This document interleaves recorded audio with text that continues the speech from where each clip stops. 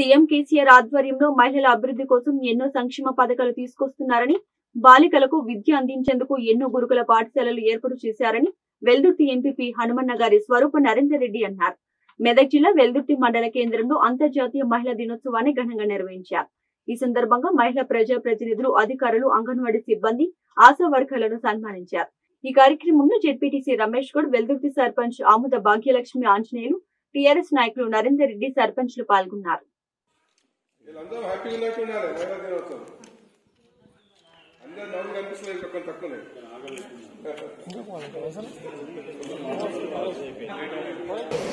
సన్మానం కూడా ఒక్కసారి. సర్పంచులు ఎంపీటీసీలు రండి ముందుగా. ఇక అందరం అంటే ఇబ్బంది అవుతుంది కాబట్టి అధికారులను జర పక్కకు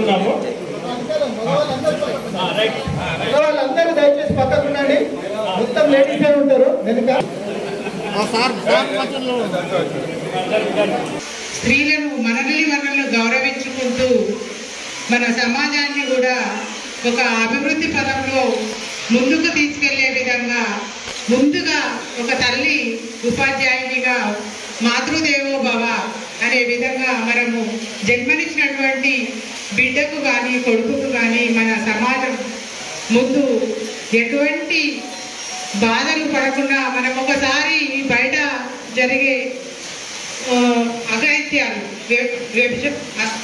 అఘాయిత్యాలు గురించి ఒక పాప బయటకు వెళ్ళింది అంటే తల్లి బాధపడేది.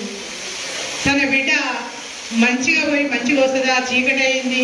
ఏ అగాయిత్యం జరుగుతుందో అని భయపడకుండా మనము కూడా ఈ పౌర సమాజాన్ని మంచి తీర్చిదిద్దే విధంగా తల్లి స్థానంలో ఉన్నప్పటి నుంచే మనము మన బిడ్డలను ఎడ్యుకేషన్గా పెంచే విధంగా మనము మగ బిడ్డలను పెంచేటప్పుడు మనం ఈ సమాజానికి పౌరులుగా తీర్చిదిద్దాలి. రేపటి భారత పౌరులుగా తీర్చిదిద్దే విధంగా మనము ఈ బయట జరిగే అగాధ్యాలను వాళ్ళకు చెబుతూ ఇట్లాంటి సమా ఇట్లాంటి జరిగినప్పుడు ఆ తల్లిదండ్రులు ఎంత బాధపడతారు అనే విధంగా మనం వాళ్ళ గురు వాళ్ళ ముందు మాట్లాడుకునేటప్పుడు వాళ్ళు ఒక చెల్లెనో అక్కనో బయట కనిపించినప్పుడు ఆ చెల్లె అక్క అనే విధంగా మనం మాట్లాడాలి వాళ్ళను గౌరవించాలి అనే విధంగా మనం వాళ్ళకు చెప్పడం వల్ల కూడా ఈ సమాజము ముందు ముందు మంచి భావితరాలకు మంచి మార్గదర్శకాలు నేర్పే విధంగా కూడా మనం ముందుకు తీసుకురావచ్చు. స్త్రీలను ఎక్కడ పూజింపబడతారో అక్కడ దేవతలు ఉంటారంట.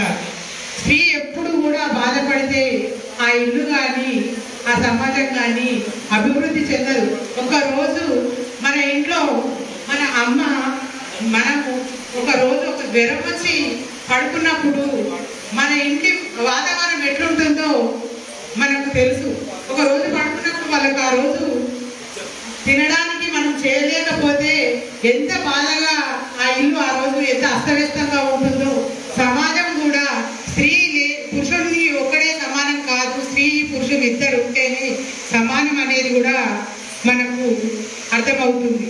ఒక బండి నడవాలంటే రెండు చక్రాలు సమానంగా ఉంటేనే. ఒక టైర్ పంచర్ అయిందంటే ఇంకో బండి అక్కడనే ఆగిపోవాల్సిందే. దాన్ని కూడా ముందుకు తీసుకెళ్ళే విధంగా మన ప్రభుత్వం ఉంది కాబట్టి మనం కూడా అంతే తోడుగా మనము కూడా ఒక మనకు ఒక చేయితని ఇచ్చినప్పుడు ఆ చేయిని అందుకొని ముందుకెళ్ళే విధంగా మనం కూడా వాళ్ళతో పాటు ముందుకు వెళ్ళాలి. మనం ఇంతే కాదు ఇంట్లోనే ఉండొద్దు అనే విధంగా మనం కూడా ఆలోచించి మన సమాజానికి ఒక శ్రీరామునికి ఉడద సాయం లాగా మనము కూడా శక్తి స్వరూపమై శక్తిని అందించి మన సమాజాన్ని ముందుకు వెళ్ళే విధంగా మనం అందరం కృషి చేయాలనుకుంటూ కోరుకుంటూ ఈరోజు ఈ సమావేశానికి మన మహిళా దినోత్సవానికి వచ్చినటువంటి మన మహిళా మూర్తులందరికీ కూడా మరొకసారి అంతర్జాతీయ మహిళా దినోత్సవ శుభాకాంక్షలు తెలియజేసుకుంటూ ఇంతటితో ముగించుకుంటాం